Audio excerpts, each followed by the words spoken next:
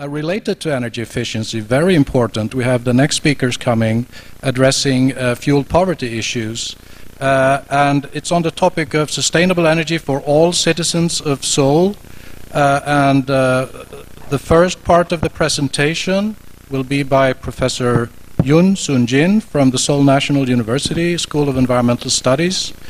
Uh, Professor Yun is also a member of the OLNPP committee And she will be followed by uh, John Byrne, who's a distinguished professor of energy and climate policy at the University of Delaware and also chairman of the Foundation for Renewable Energy and Environment. So please, Professor Yoon. 예, 안녕하세요. 방금 소개받은 윤순진입니다. 아, 저희는 좀 색다르게 이 세션을 준비했습니다. 아, 저기 잠번 델라웨어 대학교 교수님하고 제가 함께 준비했는데요. 저희는 그냥 따로따로 이렇게 준비를 하는 게 아니고 하나의 발표 자료, 어, 발표 자료를 함께 이야기하듯이 대화하듯이 그렇게 진행을 하려고 합니다. 어, 아, 그래서 제가 한국인이기 때문에 한국말로 하려고 하다가 대화하듯이 하려고 하다 보니까 아무래도 영어로 계속 진행하는 게 좋을 것 같아서 어, 영어로 하겠는데요. 이 발표 자료는 저희 둘만이 아니라 델라웨어 대학교의 박사 과정으로 있는 이주희 양과 서정석 씨가 함께 준비한 것임을 어, 밝힙니다. Yeah. Uh, actually, uh, in 2011, the UN Secretary General Ban Ki-moon declared sustainable energy for all. And uh, this sustainable energy for all is focused on achieving three inter interlinked uh, targets or goals, uh, such as energy efficiency and renewable energy and universal access. And uh, the, uh, the target is doubling the global rate of energy efficiency improvement, doubling the share of renewable energy in the ener global energy mix, and ensuring access to energy services by 2030. And especially uh, from this year, 2014 to 2024 is declared as the decade of sustainable energy for all. We think Korea, especially Seoul, can be a part of sustainable energy for all. We prepared the Korean together. yeah. There are two dimensions of energy poverty. One is energy available, availability challenge, and another is energy affordability challenge.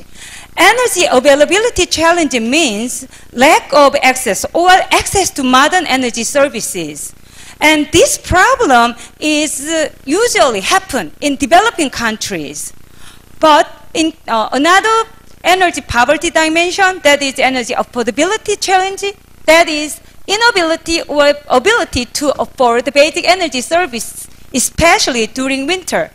But this phenomena or this problem is observed uh, not only developing countries, but also developed countries. We think in Korea, we have this energy affordability challenge we have. Yeah, there are three key factors of energy affordability. Uh, the first is energy efficiency of the residents, and the second is household income, and the last one is unit price of energy. So, how about the energy poverty issue in the US and in uh, Europe? JB, can you mention it? Sure, sure. Good morning, everyone. And uh, yes, the problem that we're talking about is uh, all societies' problems. It is a problem of my society, the U.S., it is a problem of Europe, and of course, it is a problem of Asia. And uh, so you can see uh, this particular problem if you bin the incomes of uh, different 20% uh, quintiles of each part of society. And so in the U.S., the poorest members of our society uh, average uh, over 13% of their income to cover their energy bills, whereas the richest spend less than 2%. And you can see a similar pattern in the UK 15% is being spent by the, uh, the lowest uh, uh, income group, uh, and 2% is all that's necessary for the highest income group. And this dramatic difference is what is often referred to as an energy poverty or an energy injustice uh, issue. And we're going to try and suggest today how we can deal with this problem uh, in uh, uh, all societies, including uh, uh, the city of Seoul. Um, so, as background, in order to make this kind of, of um, uh, problem uh, be addressed properly, we have to have some policy definition, and uh, societies around the world have worked on that policy definition. Uh, Sunjin will talk with you about the, uh, the case in Seoul and in Korea. I just briefly mentioned here in Europe and the U.S. There are different complicating factors of how you establish this, this metric. What do you want to achieve in terms of reduction? When is energy poverty no longer as great a risk?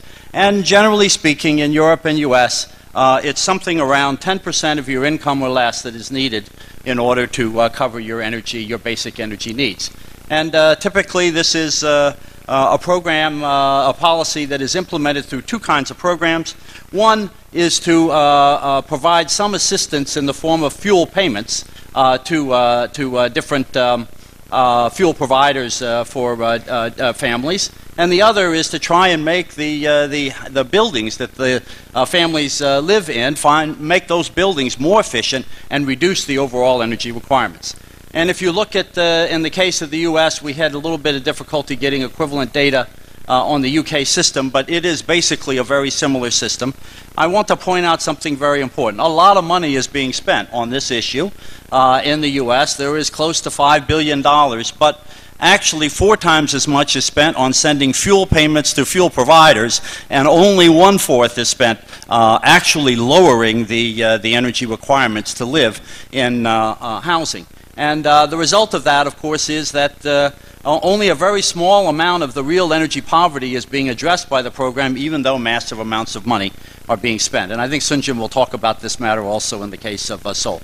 Uh, the U.S. also is only uh, providing these services to about one third of the total households that are eligible under this definition, and as a result, it is only impacting a small percentage of the real income constraint that these uh, families uh, face. So, in a wealthy world like uh, the U.S., it is the case that families are still trying to balance food, uh, payment for other basic services, for children's needs in uh, school, and uh, energy bills. And that is, uh, in brief, the energy poverty problem.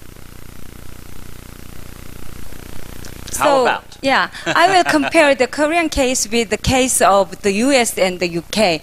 Uh, as JB showed you, uh, we can see the similar pattern here. But maybe the share of the lowest 20%, the energy bill of their income is uh, a little lower than two other countries, 12%. But this is the reason is in Korea, energy price is relatively lower than two other countries. But still, uh, you can see here, highest 20% just pay for 1.9% of their income for energy bill. But lowest 20% is over 10%, and the average is just 30.2%.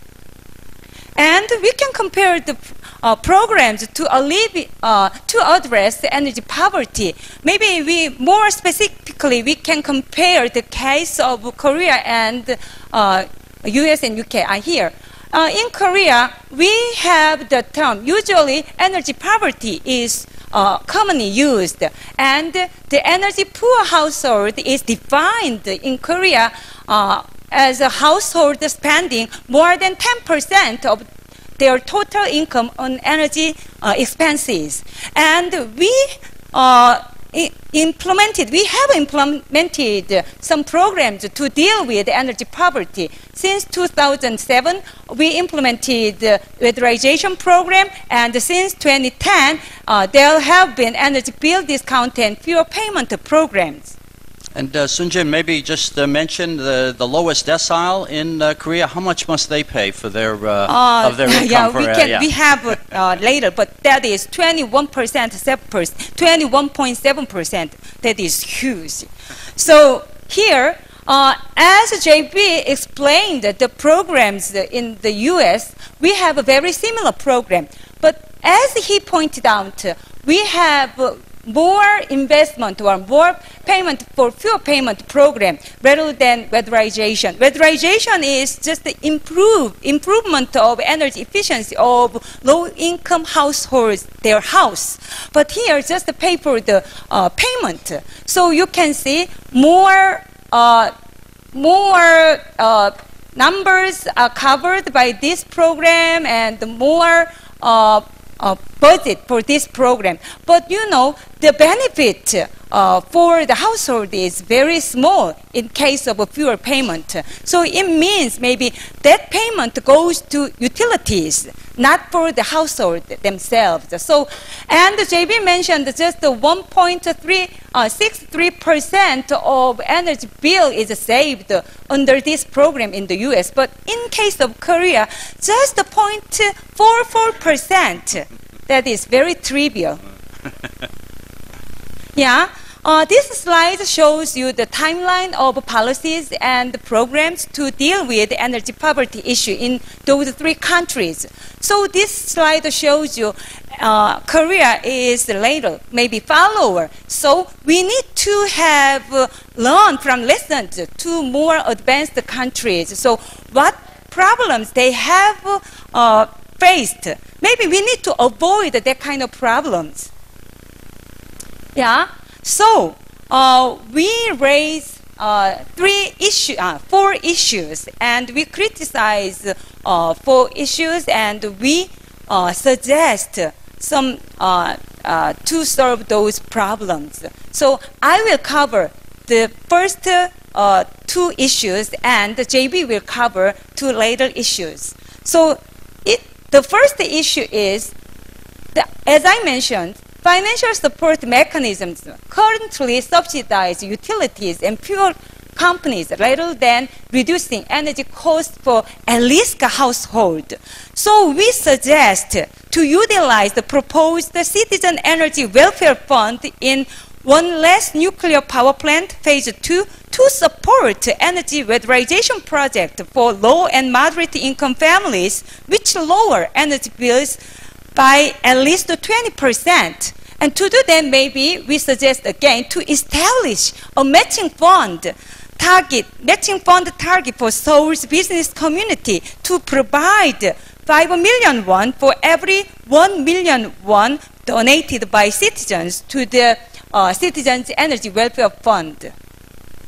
So uh, we call this kind of approach end-to-energy poverty initiative. So part one means five-year weatherization plan. So if we take this kind of or implement this kind of initiative, maybe total energy saving by 2020 is maybe uh, here 127,000 ton of oil equivalent. So it will uh, account for 3% of the one less nuclear power plant. So the target by 2020. So we think maybe to solve energy poverty issue together with uh, the maybe some uh, to remove the needs for energy supply. That is very important. And the second issue is absence of a broader policy perspective to embrace energy and environmental burdens of the energy poor. So we suggest to create policies and programs addressing energy affordability burdens which also lower health and environmental costs borne by at least household. As you know, poor people have had some uh, problems, health problems, because of poor energy uh, supply or heating system in winter. So if we need to uh, reduce the need for energy supply or to improve their energy efficiency, maybe they don't need to pay for energy bills and they don't need to go hospitals because of their health issue. So to do that, maybe to, uh, we uh, suggest to establish database to track households in energy poverty in Seoul. Actually, it was very difficult for us to find out the data to calculate these figures. So in our calculation, through the uh, end to energy poverty initiative, maybe we save, it is a net social benefit. It means not just uh, energy bill saving. It includes other social and health cost, reduction of environmental and health cost. So it will become uh, 753 million of social benefit by uh, 2035. So we call this one uh, energy end to energy poverty part two or part one. yeah. So anyway, uh, and JB, could you give some suggestions for Seoul? You can cover the next two issues. Sure.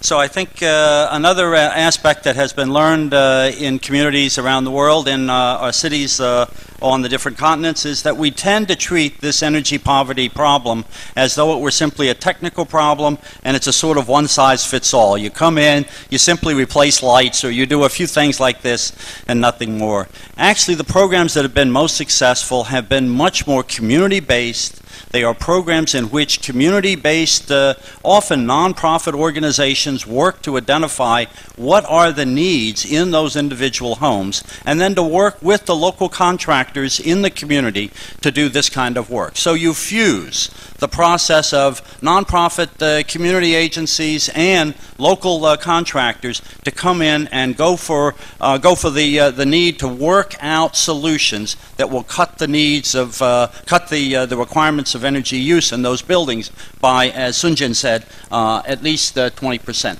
And if you do that, uh, that community based uh, approach, which has worked in many places, uh, I will say in the United States, we started the other way, but the way that has now worked best is actually much more of a bottom up community based approach uh, uh, in the U.S. So all of the programs are now implemented in the U.S. that way. And I want to just mention there's a really important benefit to the city uh, of, of following this kind of approach. So uh, and that is the job creation that comes with uh, uh, this kind of aggressive uh, uh, community conservation program. Just a simple uh, metric that you can use. For every unit of investment that you send into the current energy system, you can get four times more jobs. Four times more jobs if you simply invest in conservation. And we'd like to see some renewable energy made available to families in all uh, income quintiles as well. So you can get four times more jobs if you put the money not in paying for waste in the old energy system, but instead paying for conservation and more quality services uh, through renewables in the new system. So that's one uh, thing we'd like to propose. And uh, the second one we'd like to propose is, is the use of uh, a measure of on-site uh, renewable energy generation. We worked with the City of Seoul to find out what is the rooftop area of the uh, public housing uh, units in the city of Seoul, and we then tried to best utilize this rooftop area in order to save uh, energy, uh, energy costs again for these families. By utilizing that renewable energy, you reduce the energy bill of families, and in this way, fulfill the end uh, of energy poverty goal that we, uh, we are talking about. And so uh, we made those kinds of estimates. Uh, you have this in your booklet, so I won't take you through all of it. But again, the, uh, the social benefits, the net social benefits to uh, the city of Seoul for this, uh, what we call Part 2, Solar Power for Prosperity, build the local economy in terms of jobs and at the same time uh, provide those social benefits that circulate in the economy, uh, local economy, and a benefit to uh, the citizens. So that's sort of our four-part uh, uh, proposal, and I think, uh, Sunjin, you're going to summarize how we look at this? Yeah, so based on our finding and critics and finding, we suggest five goals for uh, five anti-poverty goals for Seoul's one less nuclear power plant phase two. The first one is uh, equitably and effectively utilize the Citizen Energy Welfare Fund for energy poverty alleviation in Seoul. And the second one is to establish a 5 to 1 matching fund challenge for Seoul's business community to contribute to energy poverty alleviation. I already explained. And the third one is energy poverty alleviation should include measurably lower health and environmental burden or burdens of Seoul's at-risk community. And the fourth is organize and operate the Seoul Sustainable Energy Corporation to steer investment in solar power plant for prosperity campaign. And finally, utilize Seoul's vibrant citizen movements to lead a community-based weatherization program, green economy, green jobs, and end to energy poverty initiative. Those are our suggestions. So JB, can you wrap up our presentation? Sure. So uh, uh, Sunjin began with the Sustainable Energy for All uh, initiative of the UN, and we'd like to suggest that uh, that uh, Sustainable Energy for All is within the grasp of this city. Uh, OLNPP Plan 2 actually creates the kind of virtuous cycle with its uh, Seoul uh, Sustainable Energy Corporation and the Citizen Energy Welfare Fund so that you can achieve the kinds of goals that the uh, S4E, uh, SE for All uh, initiative of the UN has done. And at the same time, you can make sure that the citizens, all citizens of Seoul, get to participate in this new future. Thank you very much. 예, maybe 아, 한국말로 말씀드리면 여기 서울 시민 모두를 위한에 모두가 빠졌네요. 예, 여하튼 어, 그냥 일부의 서울 시민이 아니라 아주 취약 계층에 있는 그런 서울 시민들도 함께 다 껴안고 가는 그게 아마 그 원전 하나 줄이기 2단계에서 굉장히 중요하게 우리가 가지고 있는 가치인 것 같은데 저희가 제안한 이런 방식을 통해서 함께 어, 따뜻한 공동체를 이뤄가기를 희망해 봅니다. 감사합니다.